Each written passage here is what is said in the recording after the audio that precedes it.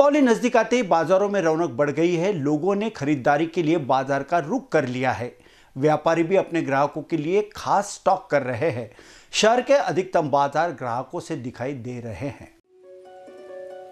दशहरे के बाद अब दिवाली नज़दीक आने के साथ ही बाज़ार में त्योहारी रौनक बढ़ गई है। लोगों ने खरीदी के लिए बाज़ार का रुख कर लिया है। शनिवार को तो बाज़ार में भीड़ रही, लेकिन नवंबर का पहला रविवार और लोगों को छुट्टी होने से मार्केट में जमकर भीड़ रहेगी। कोरोना के कारण निराश हो चुके मार्केट को इस दिवाली से काफ़ी आस थी, जो कि अभी से दिखने लगी है। वही एक नवंबर को रविवार पड़ने से लोग छुट्टी का पूरा पूरा फ़ायदा लेते हुए खरीदी करेंगे।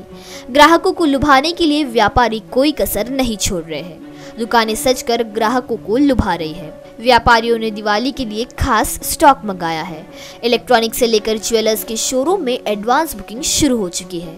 बर्तन बाज़ार भी चमक उठा है। किचन से लेकर अन्य घरेलू सामग्रियों से दुकान पट गई है। साथ ही दुकानदारों को अच्छी ग्राहकी की उम्मीद है। शहर में छोटी से लेकर बड़ी इलेक्ट्रॉनिक शोरूम पर दिवाली की खरीदी ज़ोर पकड़ती जा रही है। LED, washing machine, mixer, LED computer, mobile, कैमरे की नई नई वेराइटियाँ ग्राहकों को आकर्षित कर रही है। सोने की चूड़िया हो या फिर बिछिया, चांदी के जेवर हो या फिर टॉप्स। शहर की अधिकांश सराफा दुकानों के साथ शोरूम्स में सोना चांदी के जेवर महिलाओं का मन लुभा रहे हैं। बाइक बाज़ार में भी हर कंपनी के नए मॉडल आए हैं, जो सभी को लुभा रहे हैं।